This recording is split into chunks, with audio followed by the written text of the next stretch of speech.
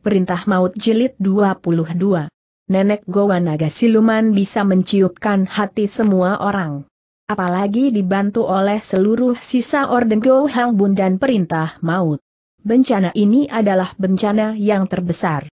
Untuk mengetahui lebih jelas bagaimana cerita Nenek Gowa Naga Siluman dipersilahkan mengikuti cerita bencana rimba persilatan. Suksesnya Perserikatan Empat Datuk Persilatan berarti kemenangan bagi Lembah Baru. Mereka bersorak gembira. Li Kong Chai berada di gedung itu, sudah tidak perlu disangsikan lagi, maka Li Wieneng datang untuk menjenguk ayahnya. Tapi mereka bercerita panjang lebar dari kejadian lama yang sudah diketahuinya, hal ini membuat Seng Putra Datuk seperti duduk di atas kursi berduri, bangun salah duduk pun salah. Sekiranya pembicaraan hampir selesai, cepat-cepat ia memotong, Tan Tong Chu, bisakah aku bertemu dengan ayah? Tan Xiao Tian memandang ke arah Tian Hang To Tiang, tabib lihai itu yang harus dan bisa memberi putusan. Tian Hang To Tiang menganggukkan kepala seraya berkata, keadaan Li Kung Chu agak mendingan, kukira tidak menjadi soal. Hari ini giliran si kakek. Beracun yang menyedot sisa racun jahatnya. Mari kita ke sana. Hari pun sudah menjadi pagi, langsung dan beramai mereka mengunjungi tempat kediaman Li Kong Chai. Sesudah Li Kong Chai mengalami keracunan yang lambat, mengingat keadaan jago itu yang sudah berada di ambang pintu kematian, golongan Go Hang Bun menyertainya keberangkatan Kue Insu. Mana disangka kalau lembah baru berhasil mengundang si kakek beracun Chu Ai Uh, sebagai seorang yang kebal dan tidak mempan racun, Chu Hoi uh mahir segala macam virus dari aneka macam racun, ditambah seorang ahli ketabiban Tian Hang To Tiang, penderita dari manakah yang tidak bisa disembuhkan mereka? Inilah kejadian yang berada di luar dugaan Parta Ingko Hang Bun. Tentang cerita Chu Hoi uh, para pembaca dipersilahkan mencari buku dengan judul Manusia Beracun. Mereka tiba di tempat kamar tempat Li Kong Chai. Seorang gadis berpakaian warna hitam berdiri di muka pintu, gadis ini bukan pelayan gedung keluarga Wiye, terbukti dari care dan danannya yang tidak sama, disertai keangkuhan dan sikapnya yang dingin sekali. Melihat rombongan yang begitu banyak, ia membentak, berhenti. Semua orang berhenti sikapnya galak sekali. Inilah Putri Chu Hai Uh, namanya Chu Liong Chu, dengan gelar putri beracun. Juga seorang ahli racun, ia mewarisi segala macam keracunan ayahnya. Semua orang menghentikan langkah kaki mereka, tidak terkecuali Tan Xiao Tian dan Tian Hang Totiang yang tersenyum meringis. Tian Hang Totiang bisa merendengi kedudukan si kakek beracun, tapi ia tidak berani menyenggol si putri beracun. Culiong Chu terlalu dimanjakan, menyinggung perasaannya berarti menimbulkan kemarahan Chu Ai Uh, itu sangat berbahaya. Ia berani mengajak banyak orang ke tempat ini karena mengetahui keadaan Li Kong Chai yang sudah boleh bicara dengan orang. Tidak disangka bisa mendapat bentakan itu, apa boleh buat, ia tertawa nyengir. Tan Xiao Tian maju ke depan dan berkata, Nona Chu, inilah Li Wieneng Kong Chu, ia hendak melihat keadaan ayahnya, Tangan si jaksa bermata satu menunjuk ke arah Liu Lieneng. Sebentar. Akan kutanya kepada ayah dahulu. Sebelum itu, jangan kalian mencoba untuk menyentuh daun pintu ini, ia berjalan masuk. Tidak lama kemudian, gadis berbaju hitam itu tampil kembali, diperhatikannya semua orang satu persatu, ia menganggukkan kepala. Tanpa bicara. Sikapnya kaku dan dingin. Li Wieneng tidak sabaran, dia adalah orang pertama yang menerjang ke depan. Berhenti terdengar bentakan suara Culiong Chu yang bisa membangkitkan bulu roma seorang yang paling berani. Tubuh Li Wieneng terasa tertarik mundur, di saat ia menoleh, itulah tangan Tian Hang Totiang. Dengan tersenyum, Tian Hang Totiang memberi penjelasan. Li Kong Chu, sabar. Seluruh ruangan ini penuh dengan virus racun yang sangat jahat lengah sedikit saja atau menyentuh sesuatu bisa menimbulkan keracunan. Tunggu sebentar. Tampak Culiong Chu menaburi serbuk putih di lantai, demikian seterusnya sehingga ke dalam. Di dalam itu, tampak seorang kakek berbaju hitam berdiri di tepi sebuah pembaringan. yang terbaring adalah Datuk Utara Li Kong Chai. Ia masih berada di bawah pengawasannya kakek beracun Chu Hoaiu. Chu Liong Chu menaburi serbuk putih sehingga pembaringan Li Kong Chai. Lagi Tian Hang Totiang yang memberi keterangan kepada semua orang. Awas, diharap perhatian cuye sekalian, jangan menginjak tempat yang tidak ditaburi spiritus abu putih, lebih jangan mencoba menjamah benda di kamar ini, penuh virus beracun yang bisa mengakibatkan keracunan. Dengan dikepalai oleh Tian Hang Totiang dan Li Weneng, mereka berjalan masuk ke dalam ruang yang sudah penuh virus beracun itu. Mengetahui kalau jiwa ayahnya ditolong oleh si kakek beracun, cepat Li Wieneng bertekuk lutut di depan si kakek berbaju hitam. Bo Ampo Li Wieneng menghaturkan terima kasih, katanya. Budi ini tidak akan Bo Ampo lupakan. Bangun, berkata Chu Ai Uh ketus. Li Wieneng menyembah sehingga tiga kali, inilah penghormatan terbesar kepada seseorang. Wajah Chu Ai Uh berubah, dengan kaku ia berkata, sudah kukatakan, bangun. Tidak dengarkah kau? Aku tidak senang dengan segala macam adat peradatan. Apa aku juga diharuskan membalas menyembah dirimu seperti itu? Cepat Tian Hang Tot yang membangunkan Li Weneng, ia berkata. Li Kongcu, jangan kasamakan si kakek beracun dengan manusia lainnya. Ia tidak suka care penghormatan yang berlebih-lebihan, karena banyak orang yang hormat dan manis mulut itu belum tentu memiliki hati jujur. Kalau betul kau berterima kasih, hanya hatimu yang tahu, seseorang yang berhati baik tidak bisa memperlihatkan hatinya. Inilah moto hidup Cuci Ampul. Bangunlah. Care pengobatan menyedot racun tidak bisa ditiru oleh orang kedua. Cukup kau ingat di dalam hati kalau ia pernah menanam budi besar kepada keluargamu. Bo Ampu tahu, berkata Li Weneng. Chu Hai berdengus, ia berkata, mengapa kau tidak menyebut jasamu? Walau care penyedotan racunku itu luar biasa, satu hari hanya bisa ku sedot satu tetes darah beracun. Kalau tidak ada obat soat cietan yang menjadi milikmu itu, apa mungkin bisa berhasil?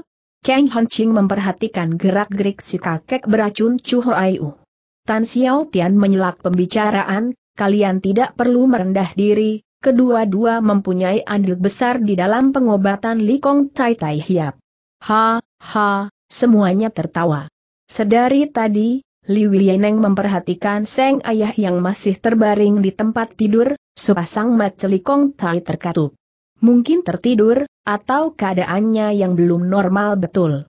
Gelak tawa orang banyak itu membuatnya membuka mata, walau agak berat, masih dikenali juga akan kehadirannya Seng Putra. Wieneng, ia memanggil perlahan. Li Wieneng berlutut dan memberi hormat kepada ayah itu. Ayah, panggilnya terharu. Awas. Jangan sentuh tubuhnya, kakek beracun Chu Hai Uh memberi peringatan. Li Wieneng menjauhkan diri. Ayah, bagaimana keadaanmu tanya Seng Putra. Agak mendingan, berkata Li Kong Chai.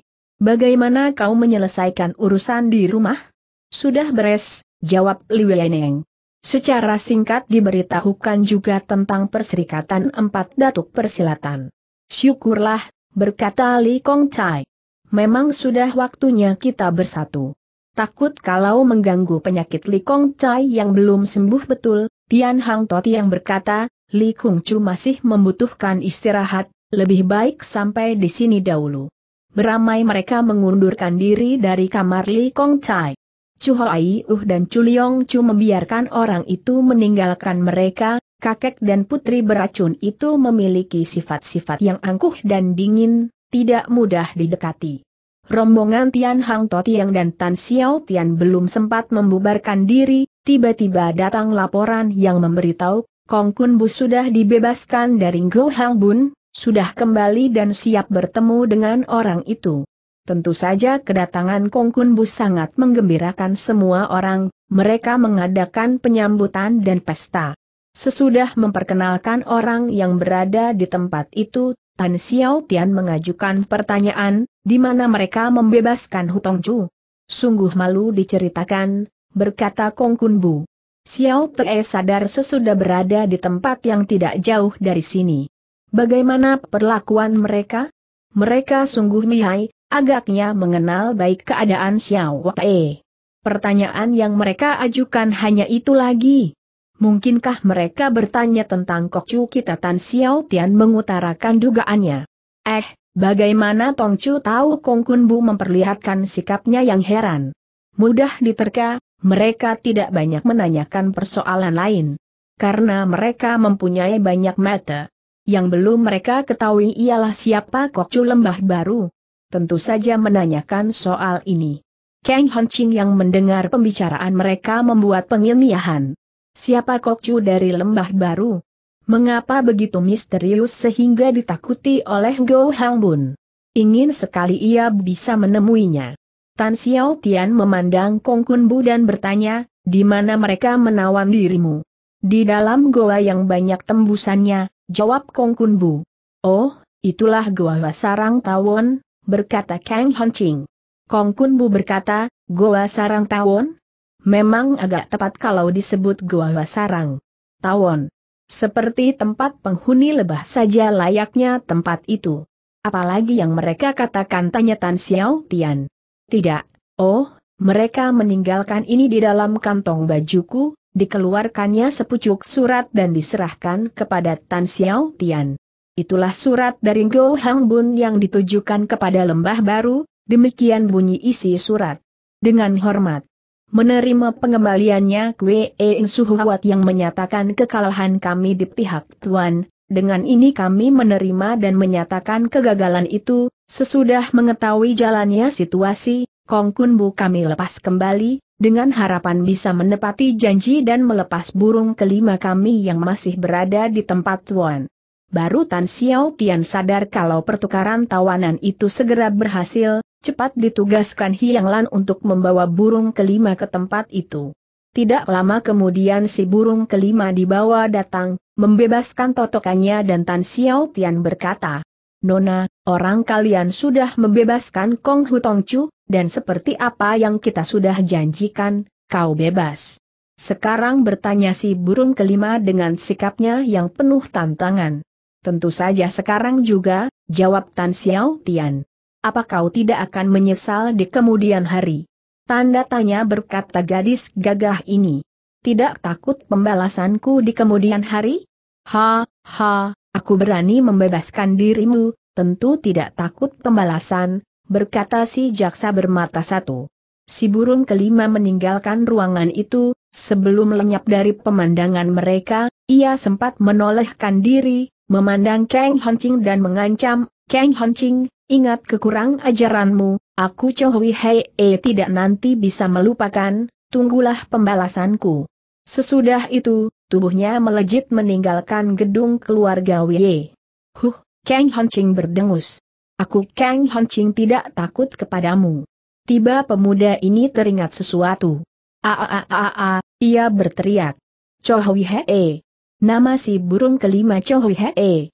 Ada apa tanya Tan Xiao Tian? Kukira, gadis tadi adalah Kiong Chu dari Go Hang Bun. A a a a. Kalau begitu, dia adalah murid kelima dari si nenek Gowa Naga Siluman.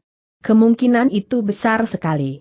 Ya, si burung kelima Chohui Hee adalah murid kelima dari si nenek Gowa Naga Siluman, Sumuai Sam Kiong Chu, kelima murid nenek Gowa Naga Siluman menggunakan nama Hui di tengah nama mereka, inilah ciri yang paling khas. Kini mereka sudah membebaskan tokoh penting itu. Bab 74 Hari berikutnya. Di kali gedung keluarga W bagian belakang sudah terhenti dua perahu tertutup. Ternyata, kota Heng Chiu adalah kota sungai, setiap rumah mewah memiliki terusan yang bisa menghubungi sungai itu, mereka menggali aliran kali, setiap saat bisa pesiar dengan perahu sendiri, langsung turun di dalam rumah. Gedung keluarga W tidak terkecuali, di dalam gedung itu terdapat kali kecil yang bisa menghubungi sungai di depan dan di belakang rumah mereka. Dua perahu tertutup itu berlabuh di dalam pekarangan rumah keluarga Wei. Jelasnya cerita, Tan Xiao Tian DKK sudah mengambil persepakatan untuk mengantar Li Kong Tai ke lembah baru, di sana mereka bisa meneruskan pengobatannya tanpa takut gangguan Ngigo Hang Bun. Met Go Hang Bun terlalu banyak mereka harus melakukan perjalanan yang dirahasiakan. Pagi sekali, di balik kabut yang masih menipis, empat dayang perempuan menggotong tandu yang dibawa masuk ke dalam perahu tertutup yang di depan. Sesudah itu tampak Kang Hancing, Goan Tian Hoat, Li Wieneng memasuki perahu itu. Perahu segera diberangkatkan. Menyusul perahu tertutup yang pertama, tampak gerakan di dalam perahu kedua, di sana tampak kakek beracun Chu Hai Uh, putri beracun Chu Liong Chu dan Tian Hang To Tiang. Perahu kedua ini pun bergeser pergi. Kecuali itu tampak Tan Xiao Tian dan Kong Kun Bu di tepian, mengantarkan keberangkatan kedua perahu. Air sungai dari tembusan mengalir terus, mengikuti arus ini, perahu bergeser pergi. Perjalanan menuju ke arah lembah baru yang penuh misterius mengikuti gerakan perahu pertama, di mana duduk Kang Hancing, Goan Tian Hoat dan Liu Lieneng. Mereka terdiri dari kaum muda gagah perkasa, umurnya sebaya, pendiriannya sama, dengan pergaulan mereka yang bebas aktif, secepat itu pula sudah mendapat kecocokan hidup. Memperbincangkan tragedi dan drama rimba persilatan, uplek dengan urusan mereka sendiri. Tanpa terasa, perahu sudah meninggalkan kota Heng Chiu. Sesudah meninggalkan kota Heng Chiu, perahu berlaju lebih pesat, jalan yang berliku sudah hampir tidak tampak, kini memasuki daerah Hu Keng Chun. Pada hari kedua, perahu tiba di Tong Kipu, untuk menambah perbekalan mereka menambat perahu, istirahat di tempat itu. Tidak lama, perahu kedua pun menyusul datang, juga menambah tali, menambah perbekalan di tempat yang sama kecuali anak buah perahu, tidak satu pun dari jago kita yang keluar dari perahu tertutup itu. Kang Hancing, Li Wieneng dan Goan Tian Hoat pasang ngomong di dalam perahu mereka. Tiba terdengar suara panggilan dari tepi, ditujukan ke perahu mereka.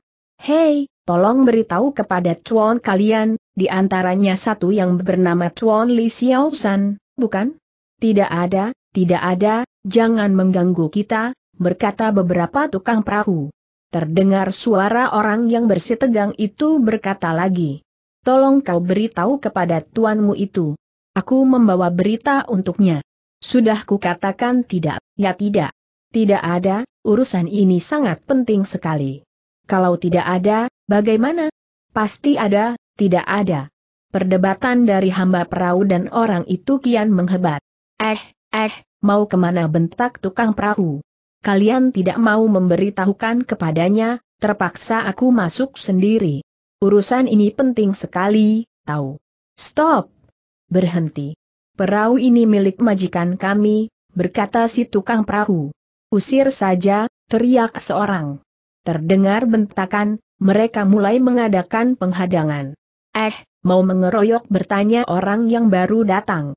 Jangan cari story, bocah, akan kami lemparkan ke tengah sungai, tahu. Kalau kalian mempunyai itu kemampuan, silahkan, orang itu menantang. Kunyuk kecil, tiba suara ini terhenti. Aa, kau memukul orang? Tutup mulutmu yang kotor itu, bentak orang yang mencari Li Xiao Sanhu, mentang dari lembah baru. Terdengar suara senjata, agaknya sudah hampir terjadi pertempuran. Biar ku hadapinya, berkata Kang Hancin berdiri dari tempat duduknya. Tunggu dulu, berkata Goan Tian Hoat. Jie Kong Chu jangan menampilkan diri. Bisa menyolok perhatian, biar aku saja. Betul, Li Wieneng setuju. Saudara Goan adalah orang tepat yang bisa menghadapi orang itu. Jie Kong Chu belum waktunya keluar. Goan Tian Hoat meninggalkan perahu, tampak orangnya sudah menghunus senjata, mengurung seorang pemuda berbaju hijau. Tunggu dulu, teriak Goan Tian Hoat. Para tukang perahu mengundurkan diri. Si pemuda berbaju hijau menghadapi Goan Tian Hoat dan berkata, Huh, orangmu ini terlalu kurang ajar. Dengan maksud apa saudara mengganggu perahu kami tegur Goan Tian Hoat. Aku hendak bicara dengan Chuan Li Xiao San, berkata pemuda berbaju hijau itu. Ada urusan apa bertanya Goan Tian Hoat? Baiklah, boleh juga ku sampaikan kepadamu. Goan Chongkoan, perjalanan yang kalian rahasiakan ini tidak bisa mengelabui orang. Tolong kau sampaikan kepadanya. Kemudian dengan suara yang perlahan, pemuda berbaju hijau itu meneruskan kata-katanya. Tolong beritahu, mereka sudah mengumpulkan banyak jago, membuat pengejaran. Rencana serangan ditentukan malam ini, majikanku. Memberi anjuran, lebih baik Li Xiao San Kongcu mengundurkan diri dari pertikaian ini. Siapakah yang saudara maksudkan dengan mereka itu? Bertanya Goan Tian Hoat, juga dengan suara perlahan. Bagaimana dengan rencana pergerakannya? Aku tidak bisa lama di sini. Inilah perintah majikanku, kata si pemuda berbaju hijau. Pesanan sudah kusampaikan. Selamat tinggal. Datangnya cepat, kepergian pemuda berbaju hijau itu pun cepat. Di dalam sekejap mata, ia sudah melenyapkan diri. Kembali ke dalam perahu, Goan Tian Hoat mendapat pertanyaan Liu Yeneng, ada urusan apa orang itu mencari Kang Jie Kong Chu? Ia membawa berita yang mengatakan Ninggo Hang Bun hendak melakukan penyergapan di malam ini. Alis Liu Yeneng terjengkit, musuh kita betul hebat, katanya. Belum pernah kita menongolkan kepala. Toh bisa diketahui juga. Siapakah orang tadi bertanya Kang Hancing? Dari bentuk tubuh, Orang itu adalah samaran dari wanita, jawab Goan Tian Hoat. Katanya ia hanya mendapat perintah majikannya, tentu salah satu dari pimpinan Go Hang Bun. Kang Hon Ching segera teringat kepada kedua pelayan Sam Kiong Chu, Dayang yang bernama A. Wan dan Bulan itu, mungkin salah satu dari mereka? Goan Tian Hoat sudah memanggil pengurus perahu dan bertanya kepadanya, apa namanya tempat ini? Tong Kipu tempat-tempat mana lagi yang hendak kita lalui? Sesudah ini, rencana akan bermalam di Tonglu. Tonglu adalah tempat yang agak sepi dari keramaian. Kecuali Tonglu, apa tidak ada tempat-tempat sepi lainnya bertanya Goan Tian Hoat. Daerah sepanjang Tonglu adalah daerah subur, di sepanjang pantai terdapat kota-kota nelayan, di antaranya Taiya Bun agak sepian. Cukup. Kita bermalam di tempat itu saja, berkata Goan Tian Hoat. Ternyata, sebelum keberangkatan mereka, telah terjadi persepakatan, dan Tan Xiao Tian juga sudah memberitahu kepada orangnya, mereka langsung berada di bawah perintah Goan Tian Hoat. Maka jago ini mempunyai hak memberi putusan. Baik, pengurus perahu mengundurkan diri. Tidak lama, perjalanan dilanjutkan. Kini dua perahu tidak terpisah lagi, perahu menuju ke arah Tonglu. Deru ombak sungai yang terdampar membuat irama perjalanan yang mengesankan. Li Wieneng dan Kang Ching tidak pernah keluar dari perahu itu, sebagai ahli waris dari dua pendekar ternama, Li Wieneng sudah mendapatkan semua ilmu kipas si pendekar kipas wasiat Sin So Ancu, sedangkan Kang Ching sudah mendapatkan ilmu pedang dari si pendekar bambu kuning Chio Kiam Sian Seng. Di dalam alam pikiran kedua jago ini tidak tercantum istilah kata takut. Walau berada di bawah ancaman Go Hang Bun, kedua jago itu masih bicara dengan tenang. Tidak lama, pengurus perahu memasuki ruangan, wajahnya pucat pasi. Ada apa tanya Li Wieneng? Ada sesuatu yang hendak hamba laporkan, berkata pengurus perahu itu. Katakanlah, ada apa tanya Li Wieneng lagi. Goan Tian Hoa tertawa dan berkata, mungkinkah kita sudah dibuntut musuh? Ya, pengurus perahu itu menganggukkan kepala. Sesudah kita meninggalkan Tong Kipu, jauh di belakang kita kedapatan perahu tertutup yang membayangi. Belum lama, dua perahu balap sudah melewati perahu kita, bukan potong Goan Tian Hoat. Eh, bagaimana Goan Chongkoan tahu? Dari percikan air yang bertambah keras itu, kecuali perahu balap, tidak mungkin ada lain kemungkinan, berkata Goan Tian Hoat. Dugaan Goan Chongkoan tepat, berkata si pengurus perahu. Kita sudah berada di dalam jepitan mereka. Mungkin, mungkin belum sempat kita tiba di Tayabun, mereka sudah turun tangan. Bagaimana ilmu kepandaian air dari satu anak buah perahumu tanya Goan Tian Hoat.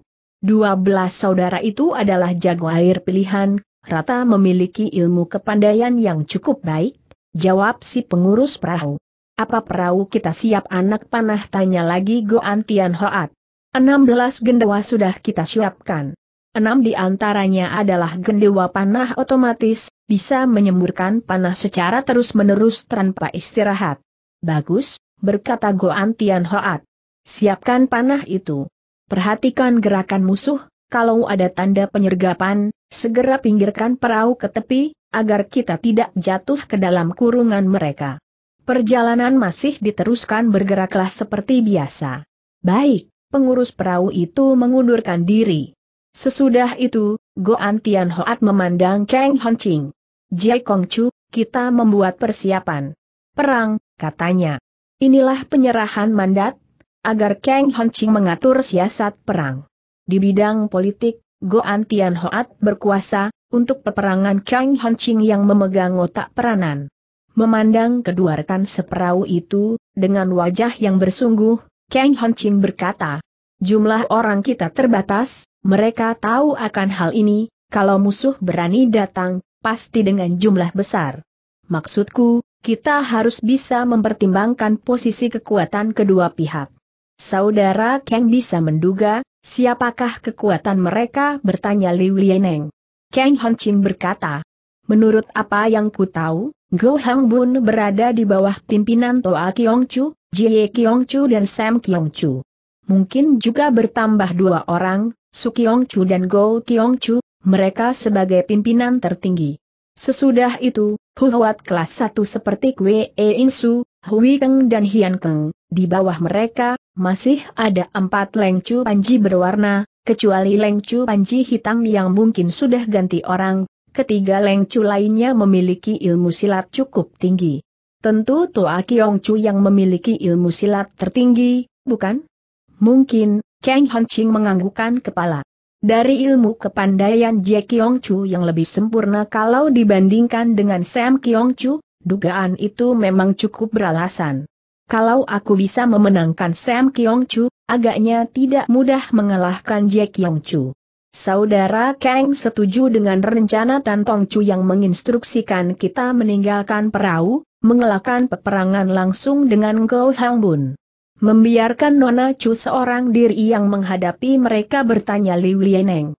Ternyata kekuatan mereka hanya terdiri dari jago muda, direncanakan juga untuk menumpas kelenteng Sin Ko Siye, menggunakan siasat berteriak di timur, menyerang di lain tempat, memberangkatkan dua perahu meninggalkan gedung keluarga Wiye, seolah mereka menuju ke arah lembah baru dengan rombongan itu.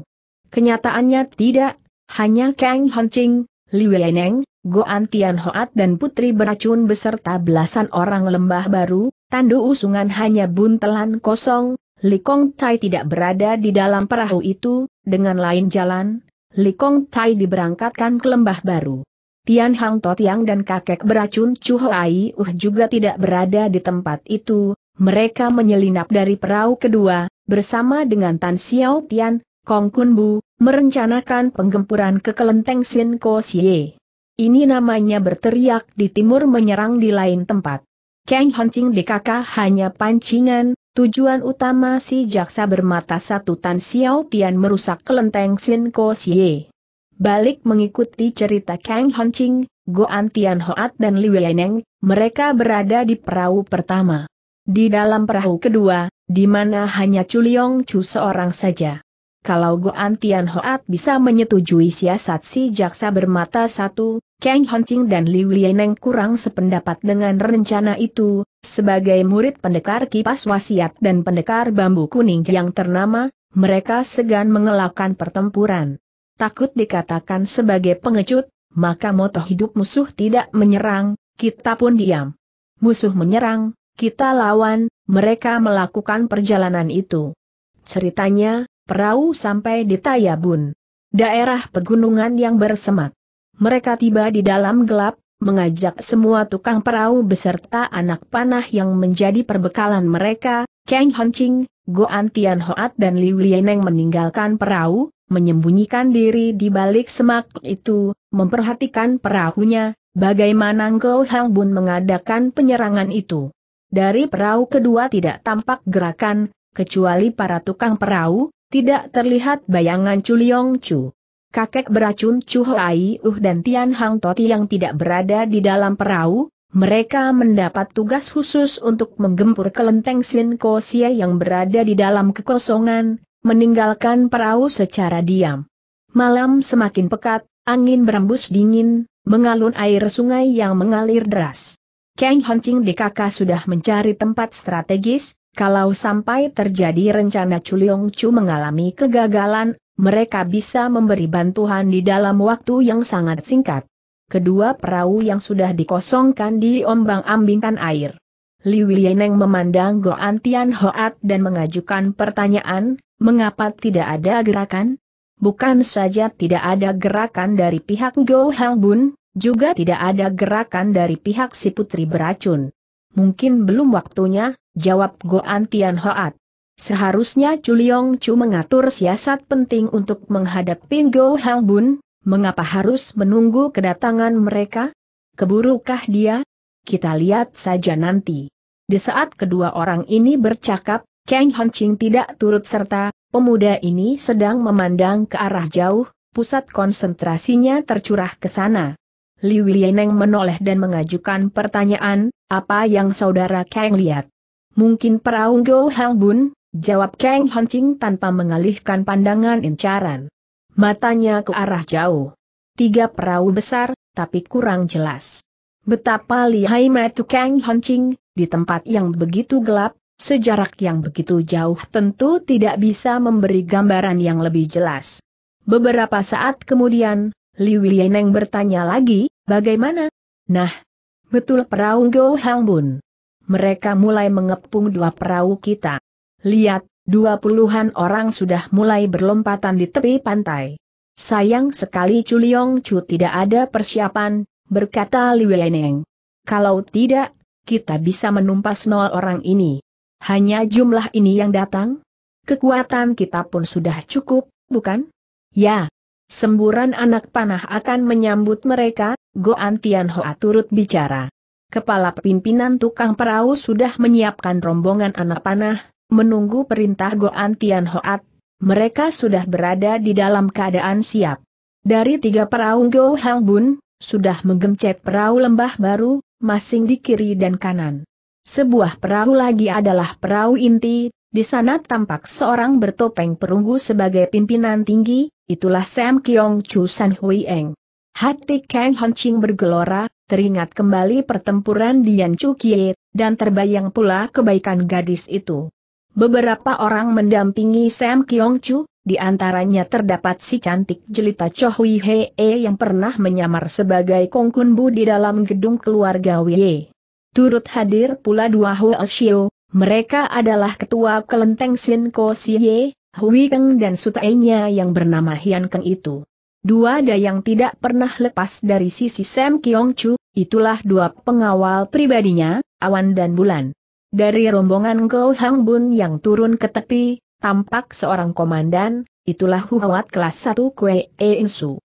20 orang Kwe E Insu sudah mengurung perahu lembah baru, keadaan itu sangat menegangkan, di malam gelap yang tidak ada penerangan, menghadapi perahu diam tak bergerak, tentu saja Kwe E Insu berhati, sesudah betul memperketat kurungannya, Kwe E Insu menghadapi dua perahu lembah baru dan berteriak.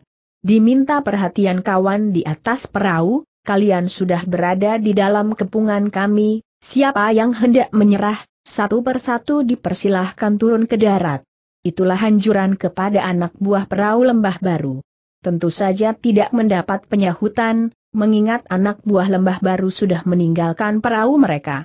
Kwe Insu berteriak lagi, atas perintah Sam Kiong Chu, aku minta menghadap Kang Je Kong Chu dan Li Kong Chu. Tidak ada penyahutan. Kang Hancing, Li Weneng, tiba Kwe Insu menambah keras suaranya. Betul kalian tidak mau keluar dari perahu? Hanya dua buah perahu tertutup bisa menyembunyikan diri kalian. Tanda tanya. Betapa congkaknya manusia ini. Lupa kalau dirinya itu pernah dibebaskan, sesudah akal bulusnya di dalam gedung keluarga W ketahuan orang. Dari tempat yang lebih tinggi, Kang Hancing, Li Wieneng dan Goan Tian memperhatikan gerakan di dalam perahu mereka, mereka heran kepada Chuliong Chu yang belum menampilkan diri. Li Wieneng tidak sabaran. Bagaimana kita beri sedikit hajaran kepadanya ia memberi usul. Nona Chu masih berada di dalam perahu, berkata Goan Tian Hoat tidak setuju. Tunggulah sebentar lagi. Sesudah beberapa kali Kwe Insu bekoar tanpa balasan suara, memandang kepada anak buahnya, hanya satu kali gerakan coach tangan, ia memberi perintah, geledah isi perahu. Maka berlompatanlah belasan orang, mereka meluruk dan menggerebek perahu lembah baru. Tentu saja pemeriksaan itu berjalan cepat, mereka tidak menemukan seorang pun yang berada di tempat itu. Seorang di antaranya memberi hormat kepada Kue E Huat, ia berkata, laporan, tidak seorang pun yang berada di dalam perahu. Kue E Insu tertegun. Hanya dua perahu kosong. Tanda tanya ia curiga. Tampak orang yang baru melapor tadi hendak menganggukkan kepala, tiba saja terjadi sesuatu, entah bagaimana orang itu jatuh ngeloso, kelejatan sebentar dan demikian ia terbaring di tepi pantai sungai itu. Sepasang mata Wei Insu menjadi liar, memandang kelilingnya dan membentak, siapa yang melepas senjata gelap. Di saat yang sama, belasan orangnya yang baru turun dari perahu mengalami kejadian yang serupa, satu persatu berguguran jatuh, seperti daun rontok, mereka berserakan di pasir putih itu. Mundur, Kue Insu memberi perintah kepada sisa orangnya. Secara serentak, tujuh orang yang belum sempat jatuh itu mengundurkan diri. Lagi terjadi keanehan, kalau mereka tidak bergerak, masih tidak mengapa, karena mereka tidak turut naik ke atas perahu, kini gerakan itu membawa malapetaka, seperti kawannya yang sudah berserakan lebih dahulu, mereka pun mengalami nasib yang sama, tidak ampun lagi menggeletak pula orang Go Hang Bun ini. Si badan besi Kwe Insu berubah menjadi pucat, ia diam di tempat, tidak berani sembarang bergerak lagi, takut kalau menyentuh sesuatu yang bisa mengakibatkan maut bagi dirinya. Perubahan itu tidak lepas dari Metu Kang Hancing, dugaannya segera jatuh kepada buah tangan si putri beracun Chuliong Chu. Juga tidak lepas dari pandangan Patingger Go Hang Bun di atas perahu, ketua kelenteng Sin Ko Sieh Keng menoleh dan memandang Sam Kiong Chu. Ada sesuatu yang kurang beres, katanya. Biar Pin Cheng lihat. Sam Kiong Chu menganggukkan kepala perunggunya, menoleh ke arah Chow Wei He, berkata, Titik dua Go Sumuai boleh menyertainya. Si burung kelima Chow Hei E betul menduduki kursi kelima dari Go Hang Bun, dia adalah Go Kiong Chu. Chow Hei E, Hian Keng dan Hui Keng lompat turun, mereka menghampiri Kue E Insu yang masih termangu di pantai. Kue E Huat, pimpinan Go Hang Bun kelima ini bertanya. Apa yang terjadi? Ada semacam senjata gelap yang mengandung racun jahat menyerang kita, Kue Insu memberi laporan. Matt Keng memandang ke arah dua perahu lembah baru yang dikosongkan, memandang ke penutup perahu itu dan membentak, kecuali manusia beracun Siecu yang berada di tempat itu, tidak mungkin ada orang kedua. Betul saja.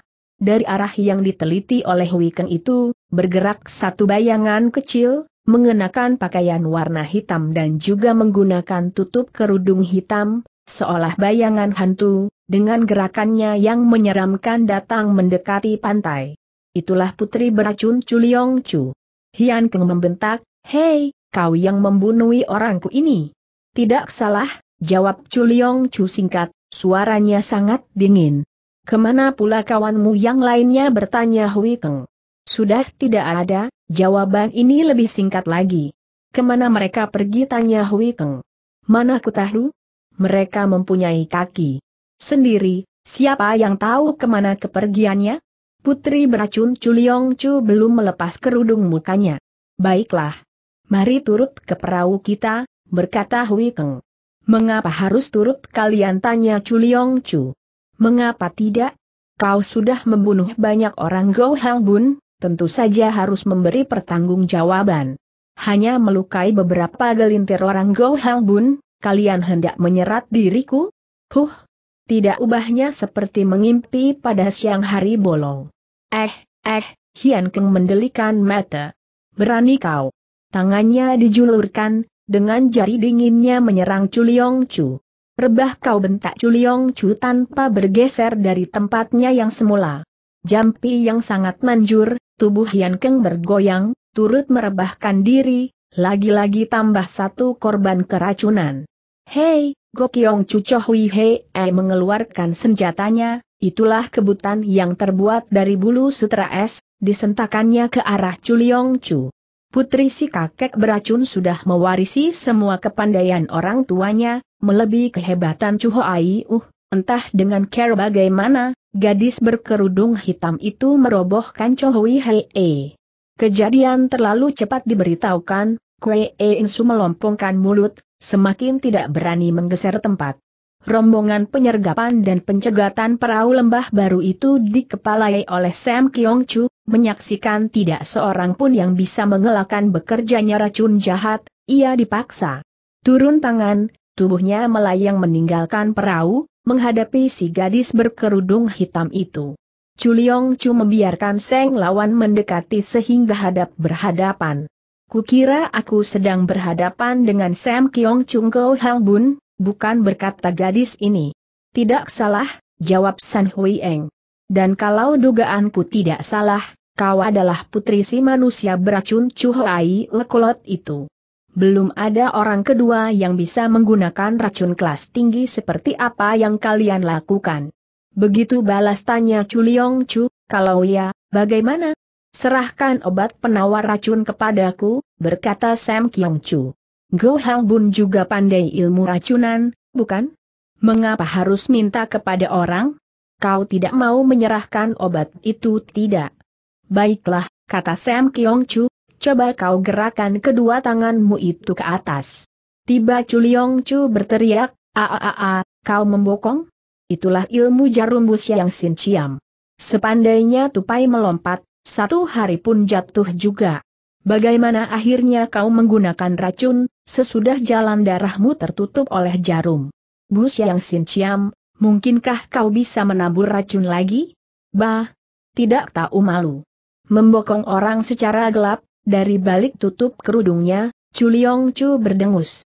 Apakah sudah tahu malu balik cemooh Sam Kiong Chu? Siapa yang begitu banyak meracuni orang dengan terangan? Apa kau juga tidak menggelap? Sesudah itu Sam Kiong Chu menoleh ke belakang, di sana sudah turut serta pelayan setianya, Awan dan Bulan, kepada kepengawal pribadi ini, ia berkata. Ringkus gadis berbaju hitam itu. Tapi awas, Jangan sentuh kulit atau tubuhnya. Gunakanlah sesuatu untuk menghindarkan sentuhan badan. Awan dan bulan membuat persiapan, mereka harus mencari kain terpal, agar bisa mengelakkan sentuhan tubuh dengan kulit si gadis berbaju hitam yang serba beracun itu. Keadaan Culiong Chu berbahaya. Tiba satu bayangan menyelak turun, itulah Kang Hancing yang keluar dari tempat persembunyiannya. Tunggu dulu teriaknya lantang. Kehadiran Kang Hancing disertai oleh dua bayangan lain, itulah Li Wieneng dan Go Tian Hoat. Tiga pendekar muda kita siap menghadapi rintangan Go Hang Bun. Dari sepasang lubang topeng perunggunya, Sam Kiong Chu memancarkan sinar mata bercahaya, ditatapnya Kang Hancing sehingga beberapa saat. Kang Hancing maju tiga langkah. Dua pasang mata beradu dekat, tidak jelas bagaimana perubahan wajah Sam Kiong Chu yang tertutup oleh topeng perunggu itu. Hanya tampak getaran badannya, perasaan terangsang, karena berhasil menjumpai si jantung hati, perasaan penyesalan, karena si dia tidak menurut kehendak hatinya, dan perasaan malu, aneka macam perasaan itu berkecamuk menjadi satu. Di depan orang bawahan dan sumuainya, kewibawaan seorang pemimpin harus dipegang kuat, dengan dingin Sam Kiong Chu berkata, Jie Kong Chu, kau masih berada di tempat ini? Kata yang tersembunyi sangat jelas dan mudah dimengerti. Itulah teguran, mengapa kau tidak mendengar bujukanku dan memisahkan diri dengan orang lembah baru? Kang Ching mengangkat tangan memberi hormat. Ia berkata, Sam Kiong Chu, tentunya kau hendak menghadang perjalanan kami yang mengantar Li Kong Tai Tai Hiap, bukan? Sambil bicara Kang Hancing mengeluarkan suara tekanan tinggi, terima kasih kepada pemberian obat Sam Kiong Chu. Lebih berterima kasih lagi pemberitahuan tentang penyergapan ini. dua orang yang bersatu hati bertemu di dalam suasana panas permusuhan. Dari balik topeng perunggunya, Sam Kyong Chu juga menyalurkan suara rahasianya, mengapa kau tidak mendengar nasihatku? Lain di suara gelap, lain pula di depan umum, dengan suara kaku, ia berkata, di mana kalian sembunyikan Li Kong Tang itu? Tentu saja tidak berada di sini, jawab Kang Hancing dengan suara resmi. Dan dengan saluran gelombang tertentu, ia bicara pribadi, mengapa Sam Kyong Chu tidak mau meninggalkan Gergo Hang Bun. Di saat ini Li Lieneng turut bicara, berdebah, hendak kalian apakan pula ayahku? Li Kong Kah bertanya Sam Kyong Chu San Hui Eng. Huh dengus Li Lieneng. Sesudah meracuni ayahku, kalian masih belum puas? Maksud Li Kong Chu. Sepandainya Sam Kyong Chu, toh kehabisan anak buah juga. Menyerahlah. Menunjuk ke arah Chuliong Chu yang sudah tertotok, Sam Kiong Chu berkata, Putri manusia beracun sudah berada di pihakku, apa yang kalian bisa lakukan? Di saat itu, awan dan bulan sudah mengancam Chuliong Chu, dua batang pedang teraras lalu, maksudnya jelas, kalau kompromi tidak dapat diselesaikan, si putri beracun adalah Sandra. Saudara Li, tunggu dulu, cegah Kang Hancing sebagai juru pemisah. Sesudah itu, dihadapinya Sam Kiong Chu dan berkata, Sam Kiong Chu, bisakah kau membebaskan Nona Chu? Dan bagaimana keadaannya dengan begitu banyak orangku yang terkena bisa racunnya tanya Sam Kiong Chu. Sesudah kau membebaskan Nona Chu Liong Chu, kita bisa membujuknya untuk memberi pengobatan, jawab Kang Hancing. Apa kau berani jamin, dia mau memberi obat penawar racun? Sebelum Kang Hancing memberi jawaban, Li Wieneng berteriak. Saudara Kang, jangan tolol. Kita hanya minta satu orang. Satu tukar satu. Hanya satu yang bisa disembuhkan. Kang Hancing membisiki sesuatu di telinga Li Wieneng, bagaimana kita memberi pertanggung jawabannya kepada Chu Ai Uchiampu? Kalau sampai terjadi putrinya jatuh ke dalam tangan Go Hang Bun. Tentu saja. Li Wieneng pernah melepas janji kepada Chu Ai Uh, ia tidak akan melupakan budi kakek itu, mengingat pertolongan yang pernah diberikan untuk menyembuhkan racun Li Kong Chai. Kini Chu Leong Chu jatuh ke dalam tangan orang. Bagaimana kalau pihak Go Hang Bun ngotot tidak mau melepaskannya? Bagaimana tanya Sam Kiong Chu menjadi tidak sabaran. Apa kalian belum selesai berunding? Tanda tanya. Kang Hancing segera bicara, baiklah. Kalau Sam Kiong Chu bersedia melepas Nona Chu Liong Chu, aku berjanji untuk menyembuhkan racun orang itu. Baik. Aku percaya kepadamu, Sam Kiong Chu San Hui yang bersedia melepas Chu Liong Chu, dengan syarat menyembuhkan keracunan orangnya. Sam Kiong Chu, tiba si badan besi Kwe E Insu nyeletuk. Ada apa San Hui yang menjadi tidak puas atas cegahan itu? Obat penawar racun sudah tentu berada di dalam badannya, sambil menunjuk Chuliong Chu. Kue Insu tidak setuju melepaskan si putri beracun, karena itu ia berusaha mencegah. Sesudah dia jatuh ke dalam tangan kita, mengapa harus menyerahkan kepada orangnya? Apalagi kalau mereka menelan kembali janji dan tanda petik. Cukup, potong Sam Kiong Chu. Keng Jie Kong Chu bukan orang tidak bisa dipercaya. Awan bebaskan dan cabut jarum bus yang Sin Ciam. Awan mengeluarkan sebuah besi sembrani, didekatinya ke arah kedua lengan Chu Liong Chu. Maka tersedot keluarlah dua jarum bus yang Sin Ciam itu. Sam Kiong Chu tidak banyak bicara lagi, dari jarak jauh ia menotok hidup jalan darah Chu Liong Chu.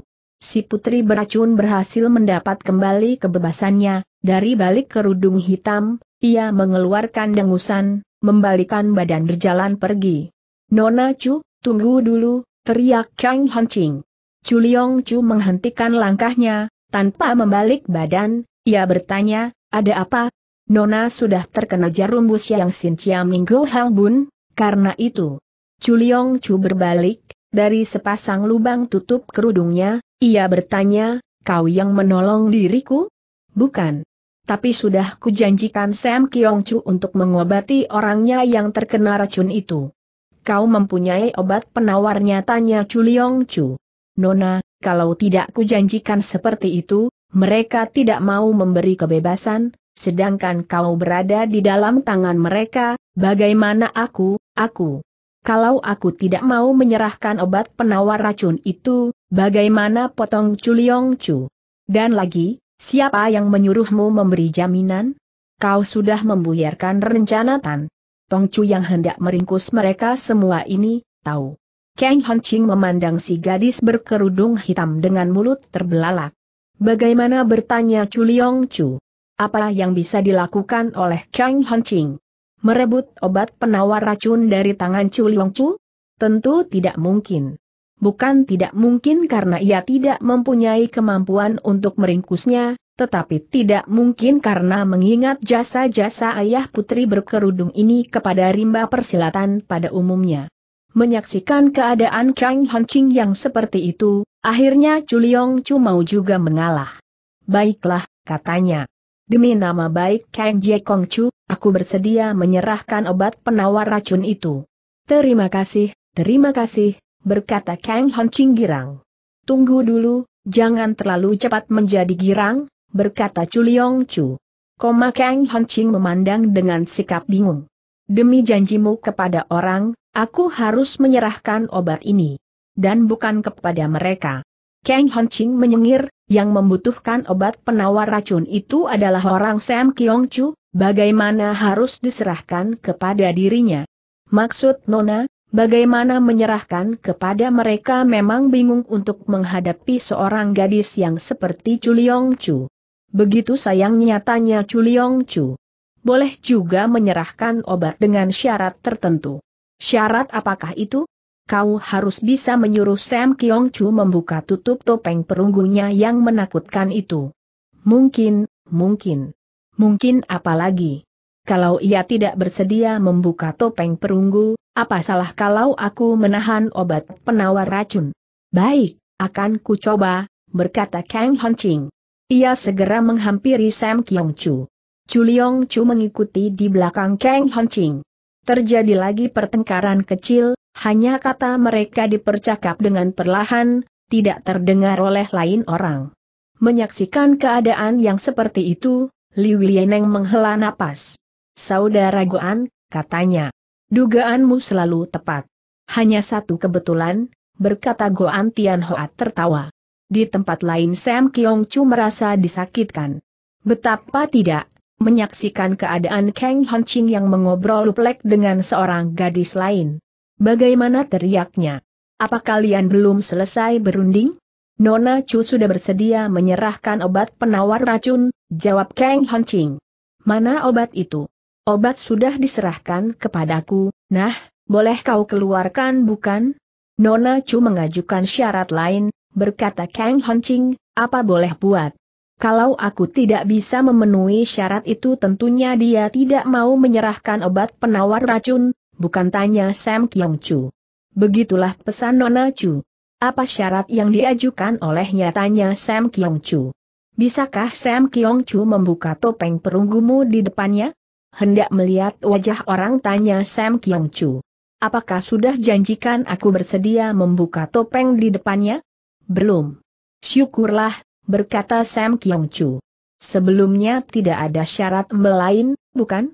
Kau yang berjanji, menjamin penyerahan obat penawar racun sesudah membebaskan dirinya. Karena itu tuntutanku adalah tuntutan wajib. Apalagi kau tidak pernah berjanji kepadanya kalau aku bersedia membuka topeng di depannya. Maka tanpa pembukaan topeng itu pun dia harus menyerahkan obat. Terus menerus Kang Ching menghadapi problem, berkerut alis dalam, bagaimanakah dia hari ini? Dari kedua gadis yang tidak sepaham itu mendapat banyak kesulitan. Tapi, tapi, susah memberi penjelasan yang lebih mendalam. Apalagi yang menyusahkan Kong Chu tanya Sam Kiong Chu. Inilah permintaan Nona Chu, kalau tidak dipenuhi, mungkin, mungkin. Dia tidak mau menyerahkan obat penawar racun itu? Begitulah. Begitu tunduk kepadanya berkata Sam Kiong Chu. Baiklah, tolong juga sampaikan salamku. Lain kali, kalau saja ia jatuh ke dalam tanganku, akan ku sayati wajahnya yang ditutup itu. Di pihak lain, Culiong Chu juga berteriak. Jie Kongcu, sampaikan juga salamku, lain kali, tanpa kehadiranmu. Mati pun jangan harap bisa meminta sesuatu dariku. Sebetulnya, jarak kedua gadis cukup dekat, tanpa orang ketiga pun bisa didengar oleh pihak lainnya. Toh mereka memfiakan Kang Honching sebagai juru bicara. Menonton jalannya cerita, Go Antian Hoat menoleh ke arah Li Wieneng dengan mesem menggelengkan kepala. Sam Kiong Chu sudah menyodorkan tangan meminta obat penawar racun yang sudah dijanjikan. Boleh kau serahkan, bukan katanya. Demi kepentingan mulah, ACC. Kang Hon Ching mengeluarkan obat penawar racun, siap diserahkan kepada San Hui Eng. Tiba terdengar teriakan Chuliong Chu. Tunggu dulu, begitu percaya kepadanya. Kalau dia tidak mau membuka topeng perunggunya sesudah menerima obat itu, Bagaimana? Kukira hal itu tidak mungkin terjadi, berkata Kang Ching. Kau berani memberi jaminan tanya Chuliong Chu. Ia bersitegang mau melihat wajah asli Sam Kiong Chu yang tersembunyi di balik topeng perunggu, sebelum obat penawar racun diserahkan kepadanya. Orang sudah membebaskan Nona, hanya percaya kepada diriku. Suatu bukti kalau ia tidak menelan janji. Baik. Ku berikan jaminan itu. Sam Kiong Chu tertawa puas, katanya, baiklah. Mendengar katamu yang memang cukup manis, aku bersedia mengalah. Sesudah itu Sam Kiong Chu mencopot topeng perunggunya. Bercahayalah seketika atas pimpinan Go Hang Bun itu. Walau di malam gelap, alam tidak akan menyembunyikan umatnya yang cantik. Betul seorang perempuan, bergumam Chuliong Chu. Kalau tadinya ia hanya menduga, Kini kepastian itu ada. Pantas saja Kang Ching sangat jinak kepadanya. Sam Kiong Chu menyingkap rambutnya yang halus terurai, dikenakan lagi topeng perunggu penutup wajah itu. Ya, aku seorang wanita, ada hubungan apa dengan dirimu tanyanya mengejek. Pantas dia lulut sekali, berkata Chuliong Chu, membanting kaki sebentar, ia meninggalkan tempat itu. Kang Ching tidak menduga sampai di situ, memandang arah lenyapnya si putri beracun, tanpa pengejaran. Goan Tian Hoat dan Liu Lieneng juga tidak bisa mencegah kepergian gadis dingin itu. San Hui Eng memandang Kang Ching dan berkata, seolah aku ini tidak boleh menjadi wanita. Apa dia sendiri saja yang boleh?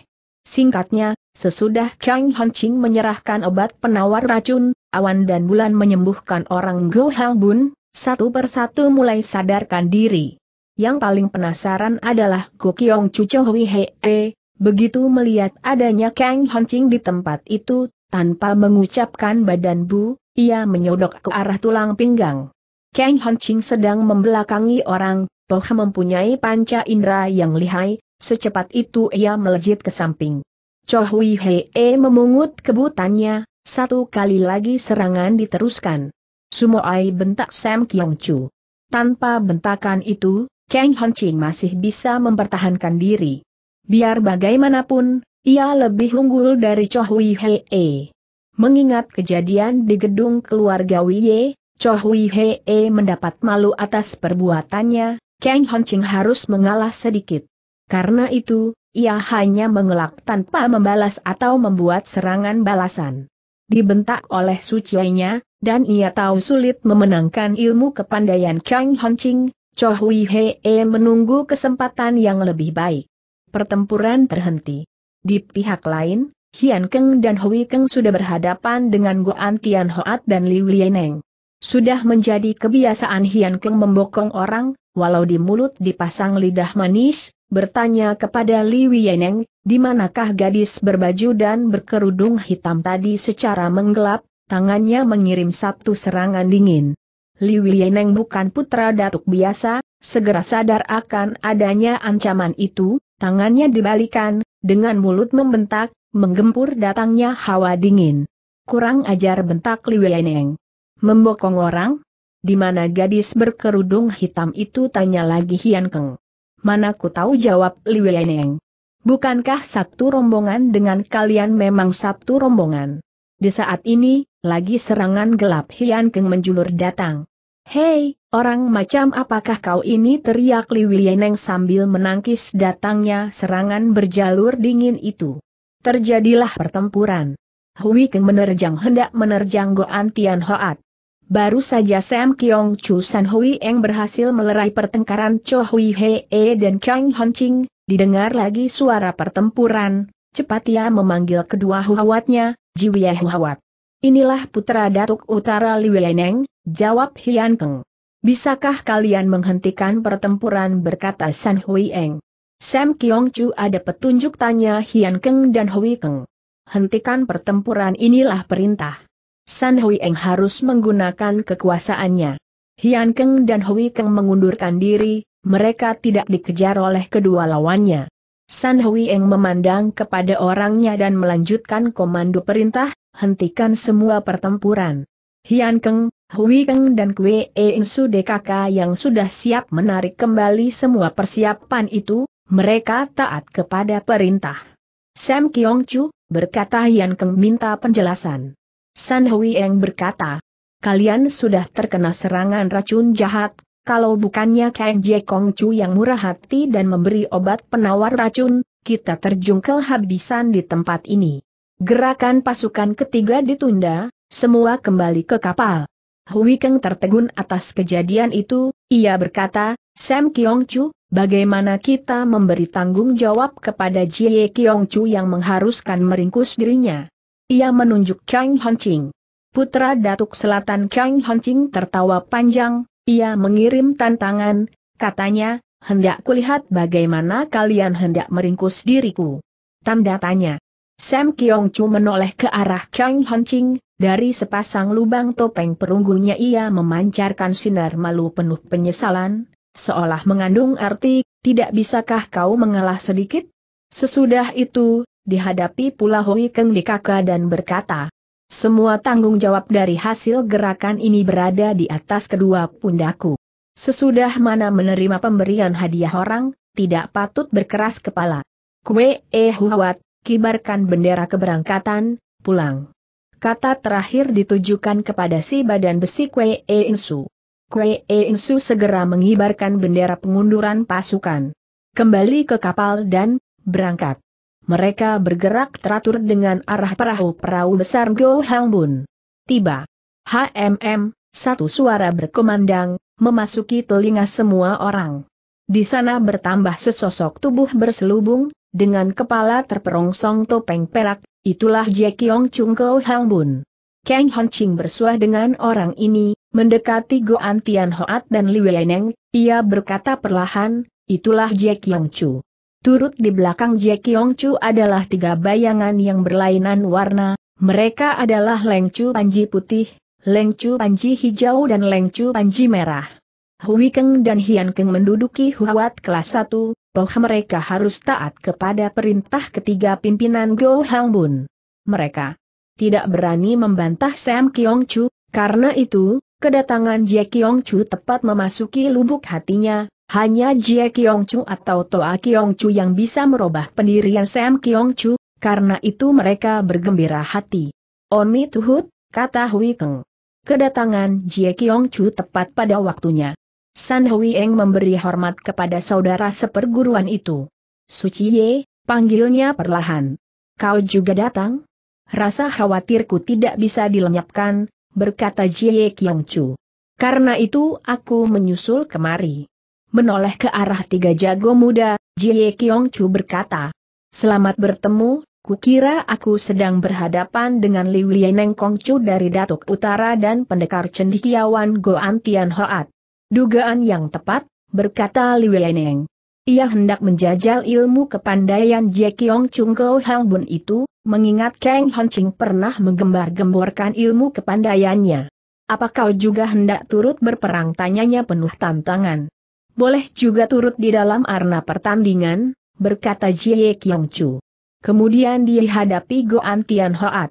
Ku dengar kau pandai berdiplomasi, maka sampai bisa tercipta perserikatan empat datuk. Persilatan, katanya dengan sikap angkuh. Suatu kejadian yang sangat merugikan Go Hang Bun. Adanya Go Hang Bun adalah kejadian yang mengganggu ketenangan rimba persilatan, berkata Goan Tian Hoat.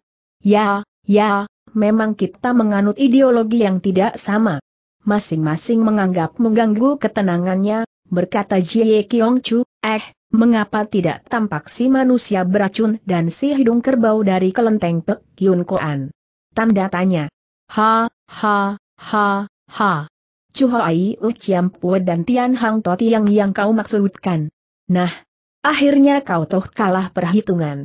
Kalah perhitungan Jie Kiong Chu tidak mengerti.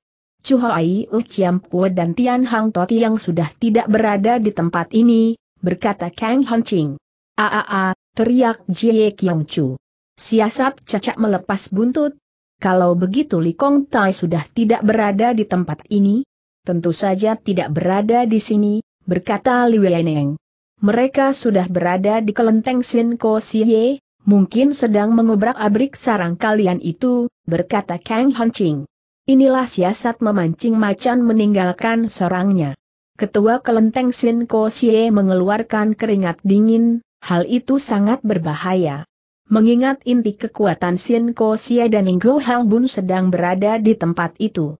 Seperti apa yang Kang Hancing cetuskan, itulah tipu siasat memancing macan meninggalkan sarangnya, menggunakan perahu kosong sebagai umpan, Perahu yang disangka Go Hang Bun membawa Li Kong Tai DKK menuju ke arah lembah baru, mereka terpancing.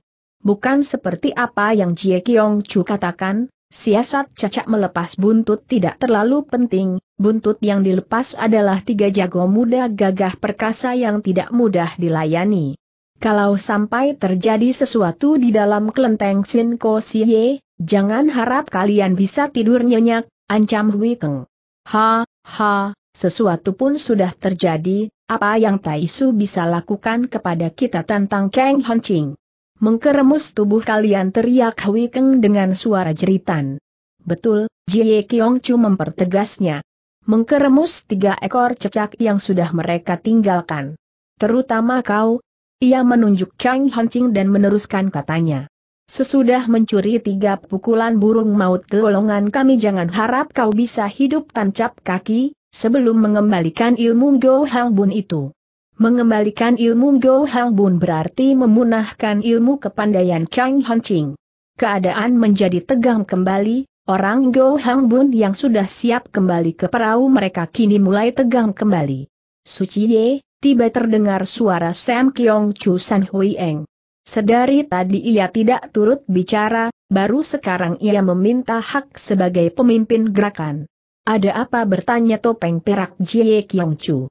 Gerakan pasukan di malam ini atas perintah.